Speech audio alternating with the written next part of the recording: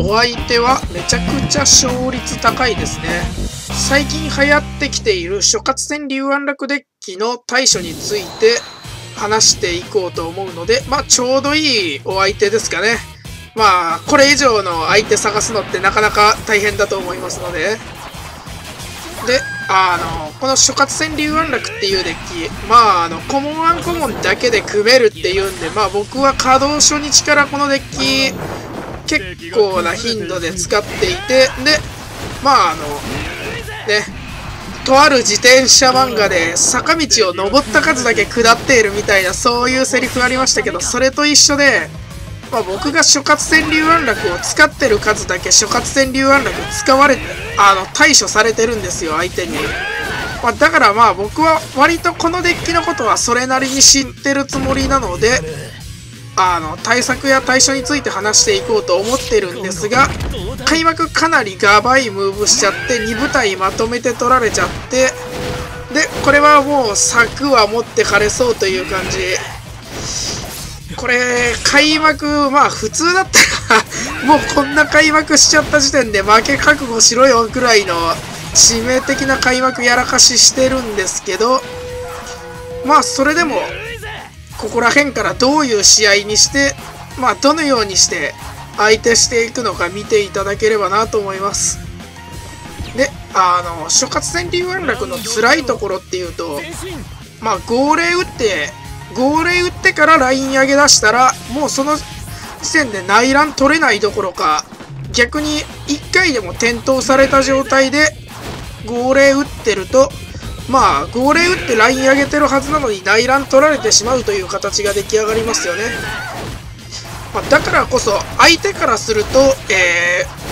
ー、逆扇型、こちらからすると、まあ、V 字型の状態でラインを上げていって、両横から中央に向かうようにして、このようにラインを上げていくと、まあ、相手としたら号令打ったとしても内乱取られちゃうから、あまり旨味がない状態っていうのが作り上げられますね。で、これでまず内乱一発。このようにしてまあ、なるべく高いラインで V 字型に攻めていくことで、まあ相手に号令打ってもな、みたいな状態を作っていく。これをまあ、できる限りやっていくっていうのはまず対策の一つですね。あとはまあ、諸葛戦竜安楽の辛いところっていうと、橋工場に対してなんですけど、まあ本来の号令デッキであれば橋工場に対してそれを舞台を追っかけて出せばまあ戻ってる際の塗り直しは効くんですが、まあ、このデッキの場合は制圧ゼロなのでそこの部分の塗り返しが効かなくてまあ内乱が取れないんでまあ内乱取れないその分だけ工場に特化したデッキではあるんですがこちら側としたらその工場だけを守ればいいというそういう考えに行き着くわけですね。なのでまあ、まあ、僕は諸葛川流安楽使ってて割と嫌だなって思う奥義は連関だったんで、まあ、自分も連関を仕込んでいく。でお相手は豊満なる号令フルコン使ってきましたね。で諸葛川が8.7カウント。で龍安楽が7.8カウントなんでまあ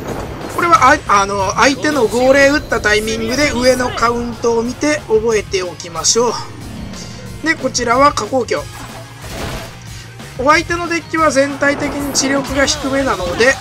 まあ、相手の号令がちょうど切れるぐらいとタイミングで同時に切れるかなっていうところここ書き返したかったのですが帰れず。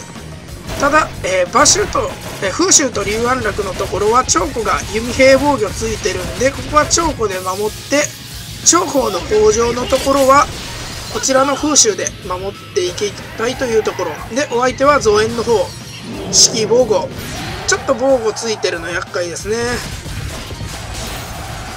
でここはまあもう相手が2回目の諸葛戦式がついてるのでこれが間に合う。まあ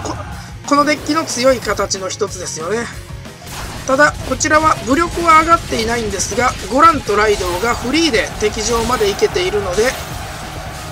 この1.5槍の深差しに深差しで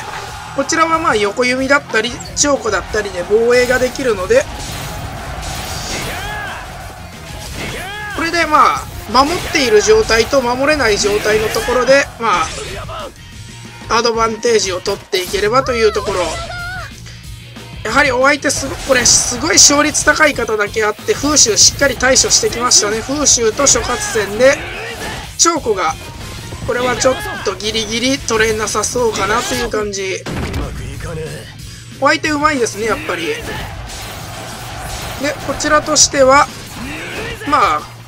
長方の工場は止めれているので火器と、えー、ゴランで相手の風習を撤退させられればという感じ。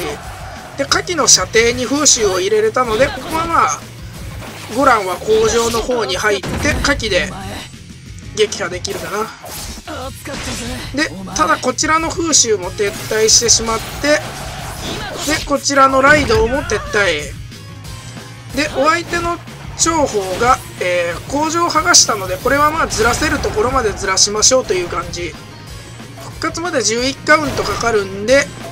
まあ、ちょっとでもずらして最後の戦最後の戦闘に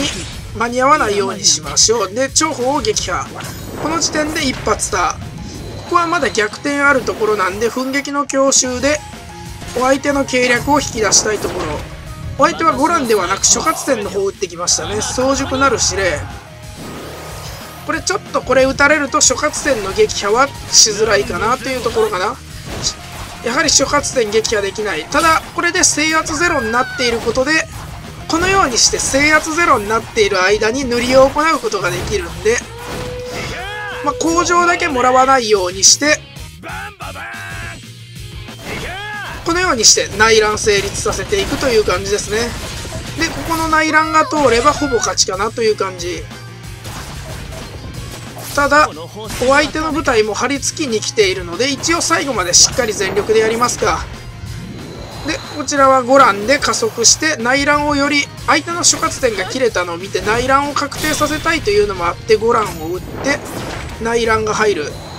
でお相手は奮撃の強襲